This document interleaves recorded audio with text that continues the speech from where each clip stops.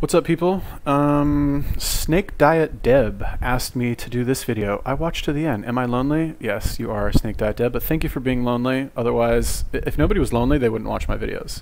I don't know, whatever. Looking forward to the workout vlog. Have you heard of this guy? He's so inspiring. Well, to me, he is. Who is he? I probably have not heard of him. But let's hear of him together. Hmm. Oh, is this the Goggins guy? Yeah, David Goggins. All right. okay, here we go. Um, let's unmute this. Okay, so if you guys have any other videos or YouTubers that you want me to take a look at, let me know. This guy, David Goggins, he's like an ultra marathoner or something. He runs like 100 mile marathons, used to be in the Navy SEALs. This guy actually said he, um, I, I, think this rule is from him, but it's, or maybe it's a Navy SEAL rule or something. And they say like when you think you're done, you're only 40% done. So I think that's very interesting, especially when it comes to like training hard in the gym uh, when you're like when you're done, you you're only actually 40% done when you, when you think you're done, right? Whatever. Anyway, uh, we'll watch this one. Thank you. Um, I already forgot your name, but thank you for telling me to watch this. Let me know if you guys have any other recommendations. And motivation with a depressed mindset. You're depressed because you're not doing with yourself. You don't find inspiration by not living in the grip of life. You need to live in the grip of life to find inspiration. Put challenges in front of yourself. When you put a challenge in front of yourself and you attack it, that's when you find inspiration. Try to be 10% better than you were last week. So if you're running 30 miles a week, run 33. If you're swimming 500 meters, swim 550. If some of you aren't doing you're 10% just getting off the couch. The more you walk away from accountability, the weaker you become. Find yourself in the grip of life. You can't find yourself by doing nothing. Let me see if I can fix myself. So I said, if I can just walk one more mile after being in the worst shape of my entire life, this would change everything for me mentally going forward. From this kid who came from dirt nothing, who couldn't read until he was in a junior high school, and is now here. I went, I walked a mile. I said, hmm, maybe I can walk one more mile. Maybe I can walk another mile. At mile 81, my ex-wife looked at me and said, you're not gonna make the time. When your mind knows it's not going to quit, and this is what I found out, this is my 40% rule. When your mind knows it's not going to quit, your body will adapt to whatever is in front of it. I ended up running 20 more miles. I did 101 miles in 19 hours and six minutes. And that one day changed that one 19 hours. It wasn't SEAL training, it wasn't Ranger School, it wasn't Delta Force, it wasn't that crap I went through. It was just 19 hours and six minutes that forever changed my life to know that we as human beings are capable of anything. And we don't need any special kind of parents or Brilliant. You know, the, the sad thing about, like, he's right. I agree with everything. This guy's amazing, blah, blah, blah. The sad thing, though, is that, like, the people who actually need to watch this video won't actually watch it, right? Because nobody, if somebody is, let's say, living living below their potential, right? Let's say it in a nice way, you know? If somebody is clearly not if somebody's kind of just like given up on life, like they're not they're not doing the things that they know they should do, um, and, and we all have areas in our life where we're where we're like that. I, I actually, as I said that, I re- remembered, like I was reminded of an area of my life that I should probably spend more time working on that I actually paid no attention to at all. Um, but whatever. Thank thank God it's not fitness and health. Like thank God at least I have that. Uh, yeah. But anyway, the the people I guess overall, like okay, so you have some people. You have some people who they neglect every area of their life, right? They're just like I don't want to say useless, but like they, they, they don't have their health together. They don't have any money. They're not working on anything. They have no, like, they have bad social lives. They're just like all around, like every area of their life is kind of bad. And then you have other people that maybe have one or two of their areas of their life together and everything else is bad. And then it just kind of goes up from there, right? You have maybe somebody who has like all these amazing things in their life, but they just have this one area of their life that's not handled, right? Um, as you go further down the scale, right, as you get closer and closer to the type of person who has no area of their life handled, the less likely that it is that this type of message will appeal to them. Okay. Because when it comes to certain areas of our life that that we're not handling, normally we're not handling them because of fear right? You're like you have some area of your life you're not handling because of fear because in, in your mind you're thinking to yourself, well, if I handle this area of my life, that means this negative thing will happen. So by not handling it, you're avoiding that negative thing. And despite the fact that that, that pain of not having that area handled is real and exists, the perceived pain of handling it or what you'll actually need to do to handle it to, to get yourself on the way is even greater, right? The perceived pain is is leading to fear that's stopping you from doing that. So, you know, I, I can I, I know tons of people I would I would love to send them this video, but if I sent this to them, they would get mad at me. They'd get angry, like, why are you sending me this? I know this already. This is stupid. This is boring. Like, why are you sending me this? Like, it's it, there's no point to watching this. Like, send me something good next time. You know, like whatever. And and that's why honestly, like, I I don't I don't really try to help people anymore. You know, at least people who are like close to me. I mean, it depends. S- sometimes you can tell when somebody actually wants to change and they just need kind of like a swift kick in the ass. Um, but at the end of the day, you know, if if you're over them, you know, berating them about doing something, and then it's, and, and they do it, and then as soon as you leave, they stop doing it. What have you really done? Nothing. Just you've just like wasted a lot of energy. Yeah, maybe you make yourself feel better because you got somebody to do something temporarily. But as soon as you're not there, as soon as that stimulus is gone, they're just going to go back to the way they were. They haven't internalized the change, is what I mean. Tools to get there. So I end you with this. Don't stop when you're tired. Stop when you're done. Thank you very much. Come on. Get it. 17. You don't know me, son. Get it. 18. You don't know me, son. Get it. 19. You don't know me, son. Yeah. 20. You got the more of 21. Yeah, get it again. Come on, let's see it. Good. 22. Who's going to carry the boats and the logs? That's you, buddy. Come on, 23. Come on, 24. One more, David. Who's one more? Carry the boats. You're going to do it. You're going to do it. You're going to do it. You did it. Yeah. One thing that changed my life is my grandfather. He told me, you're going nowhere in your life. Not being anything. As bad as that hurt me, it got me to pull my head out my ass. So learn to stay hard, have thick skin, and do what's right. What you need is the one thing I talk about in my book, which is straight up brutal work ethic. You have to be willing to outwork everybody in the world. And that, that that's the hard part. That's the hard part. This isn't like some five step process where you can do these five steps, you're gonna end up with this magical world. Nah, I'm basically teaching you how to callous over your victim's mentality. This is all about the quitting mind. So, what's the quitting mind? So, let's say it's day one of a job interview. You have your clothes laid out, you've been preparing for weeks and weeks and weeks. You show up and you bring your best self. After a couple months, you start showing up to work a little later. You don't look as good, your breakfast isn't ready, your mind's getting softer. Repetition every day. Stay hard most important conversation is the one you have with yourself. You wake up with it, you walk around with it, you go to bed with it. Eventually, you act on it. You live in a world now that's so kind. We, we find a kind way around everything. Like, if you don't look good, I have to find a kind way of saying, I don't like your shirt. Right. That's not the approach. If that's the approach you're looking for, that book is not for you. Mm. Can't hurt me is not for you. The approach you have to take, at least I took, you take the approach you want. The Amazing. Oh my god. I, I guess I guess in order to be like to be able to spread this message, you have to like have some sort of achievement where you've like run 100 miles or something like in order for people to not think you're a dick. You know what I mean? Like if if I say stuff like this, I'm just an asshole. You know what I mean? I, I- think I think that's that's kind of the I, I don't know. Maybe, do people think this guy's an asshole? Like probably not from watching this video when he's actually just talking about the concepts in and of themselves, but maybe in his in his real life where he is maybe using like direct communication to to put somebody back in line, maybe they would say he's an asshole. Maybe I'm not sure. I, I don't really know much about him. Um, but uh, honestly, this is so motivating. Oh my god, this is like I, I want to like so so. Yesterday I worked out, and normally what I do is I'll work out every other day, right? Because like you know I'll do a hard workout. where I work out like actually like three hours. You know what I mean? It, that's a lot for me. Um, and then I'll rest the next day so that I'm fresh the day after, right? But now I'm thinking to myself like, why not just work out every day? Why not why not push myself a little bit more? Um, in Japanese culture, there is a concept, I think it's called Kaizen, um, where you get 1% better every day. Let me just see if that's actually what it's called. Percent, oh shit. 1% better. Yeah, all right. It's the concept of taking baby steps on your way towards larger goals, aiming for 1% improvement each day. Okay, so um, it is called Kaizen. All right, so basically, like, this is a, a concept that, like, I guess Toyota was kind of made famous for popularizing, I guess, because they use it in their corporate culture. But um, you hear this a lot, like on podcasts now, and like all these like self improvement gurus, where they talk about don't don't worry about making like drastic life changing changes. You know what I mean? Like these sweeping changes. Like just worry about getting one percent better every single day. And as long as you're able to do that, as long as you actually do that, it'll lead to like massive amounts of changes, right? Like huge.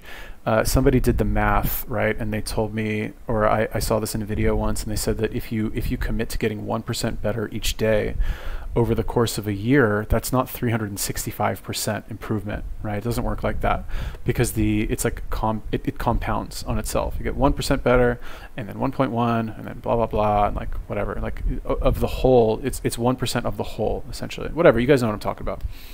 Um, it's it's 3,800% better, which is I don't care what you are, what you do, or what you're working on. If you get 1% better every day, you'll be like top top of the fuck like you'll be famous for like whatever it is you're trying to work for.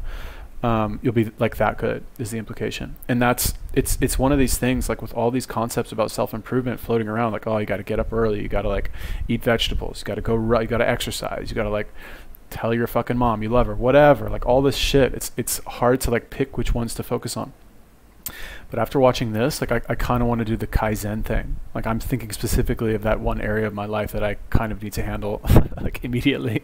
uh, yeah. Anyway, um, amazing. What what else you got, David? Conversation had to be a real, honest conversation in the accountability mirror. But guess what? I was fat. Don't find a kind word to say that you know what I've gained some weight. No, you're fat. When I couldn't read, not like hey, you know, even learning disability. No, I cannot read. The fourth grade reading level, I'm struggling, and sometimes I call myself stupid. Not in a way to put myself down Sometimes you act on it good, sometimes bad. You got to change the internal dialogue. That person in your head that's talking that to you, until you change the internal dialogue in your head, until you callous over the victim's mentality that the world is out to get you because of you are the only, you got to change that. I once had that mentality that no one understands what I'm going through. And if you keep that mentality, you're going to stay in the same exact spot that you're in, that no one understands me. There's a whole, there's millions of people. Why do you think a book that I self-published, you know, is doing so well? With a story that's so, people like, I never give up. I went to a publishing house, like, who's going to resonate with this story? No one's going to buy this book. I'm like, are you not in the world? Are you not in society? You're never alone. Everybody's going through So when people get this mentality of like, you understand me, you can throw a rock to someone that can understand you if they're willing to break themselves down and stop hiding. A lot of people understand you, mm. but you got to stop hiding. And that's why I tell people, a lot of people are going through they just hide better than you did. That's all they did. They're just hiding better. Don't find words to make yourself feel better because that's what. So we hang around people that make us feel better, that tell us what we want to hear, not what we need to hear. And so we stay away from those people. And we stay away from those people, like our internal dialogue becomes that kind, it's okay, it's not okay. So that's where it starts. It starts with that accountability of it's not okay anymore. This can no longer be okay. And calling yourself out for exactly what you are and exactly how you need to fix it. So amazing. Again, like I'm like fucking, you know, kissing this guy's ass like nonstop. But how can you not be inspired by this? Like what what kind of like mental block do you have in your mind that this is somehow like you, you react negatively to this? Like what's wrong with you? Um, a few things that i wanted to just to just mention right? Number one what what he actually says to do it kind of got lost there in the shuffle but he he recommends, at least as far as I understood it, to to communicate in a very literal way, right? Where he was talking about like, don't try and think of a nice way to say you're fat if you're fat, right? No, you just say you're fat, okay? Um, like when he was trying to say like, oh, you can't read, like you don't have a learning disability, you can't fucking read, you know what I mean? Um, and I say to do this all the time, to speak in literal terms, because when you speak in literal terms, it removes all of this like social dressing that we put on our problems so that they're more they're more palatable for us. They're less painful. Because of course, humans' natural tendency you want to avoid pain, right? But the the problem with that is that when you when you when you have a learning disability, what's the cure for that? A learning disability? There's no cure for that at all. Like, but there's a cure for not being able to read. Guess what? You learn to fucking read. you know, like it's it's very clear, which is which is why I I am such a fan of like speaking in direct terms, right? Not not to be an asshole. Like maybe sometimes I, I let it like I, I kind of lose my temper a little bit, and I just get frustrated with with how people um, resort to what essentially is, you know comes down to lazy communication or or I guess what it really is is fearful communication maybe a combination of the two to um, to speak in a way that doesn't directly address what the problem is like even thinking of my own problem like I, I even now just realized how like I was I was dressing it up on my own it's our natural tendency but if I actually look at it for what it really is, the, the solution is much more clear, especially if you make the commitment to just get 1% better every day. Those are those baby steps, like anybody can do that. Like anybody can actually do that.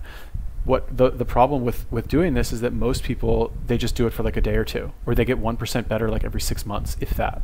Like well i'm going to get 1% better so instead of eating 100% of my calories from you know awful food today i'm going to have you know a glass of celery juice right? And that's it. And then like occasionally sometimes they remember that they like also wanted to do this so they just stay at that level of 1% better. It's not a conscious effort of getting 1% better every day. Um, very inspiring. I, I actually, I think I'm going to go work out today, honestly, after watching this. A lot of us give total control to life. We don't have any control of it. We just give all control to life. I do this shit every morning to prepare my mind for what life's going to throw at me. A healthy body gives you a healthy mind. That's what it's about. So if you go into battle, you're going to go into battle with the right mindset, the right gear. In combat, you wear body armor. But what we do wrong is we don't strengthen our minds. You got to strengthen your mind. Take control of that. Most of us live our entire lives avoiding failure. It's funny. I walk around, people come to me and they say, man, you're that Navy SEAL, you went to Ranger School, you were, you know, Air Force TACP, you know, you uh, did the pull-up record, you run all these ultra races, all this shit, man. The funny thing about it that I think about is this. They know that part of me. This is the part I know about myself. I failed the ASVAB test to get in the military three times. In the Air Force, failed at pararescue. In the SEALs, it took me three times to get through Navy SEAL training. The pull-up record took me three times. This is what I know about me. So what I'm saying is this. You can't live your life being afraid to fail. All those failures made me the success in the day. Stay hard. Stay the fight. As you know, I'm a serious introvert. Wow. So he said he failed the ASVAB test three times. Like, no offense, like, homie is for sure like a, a legend at this point. But the ASVAB test, like, I, I took that. I actually took it twice because I wanted to join the American military when I was younger. Um, I took it twice. I got like 98th percentile on like everything, 98, 99.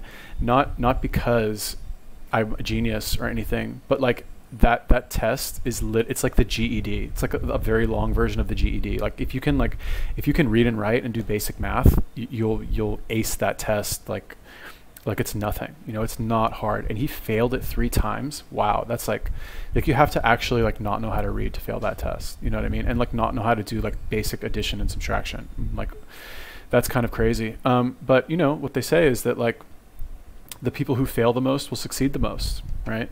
What did he say? Like Michael Jordan, there's that famous quote about him, how he like lost all these championships and like he missed all these like last minute shots and you know all these business owners like it's very common in the startup world where they say fail fail fast fail often or something like that.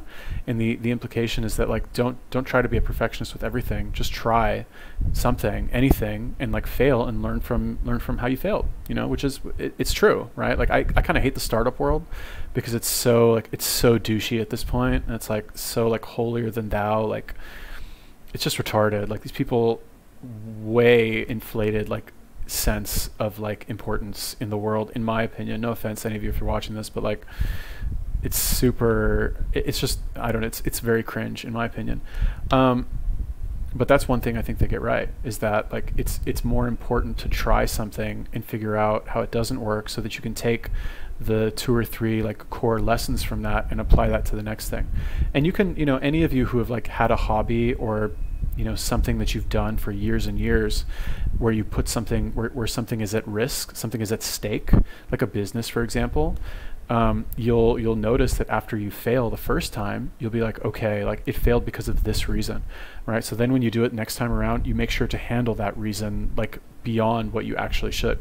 And then you'll probably fail for some other reason right? And then you repeat the process. Now you've got two lessons right? Two areas that you nail down uh, for your third attempt. And it just, it kind of like builds on itself over and over.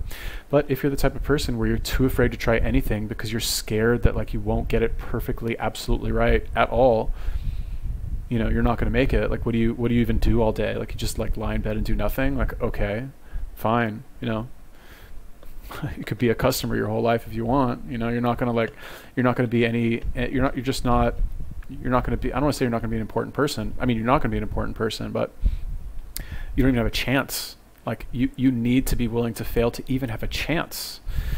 Anyway, let's finish this. And um, very afraid of people. I, I uh, got judged so much growing up that this is uncomfortable for me. All these podcasts, you know, that's why I post once a week. But the one thing I realized uh, why I wrote the book is honestly, I have a story to tell, as we all have a story to tell.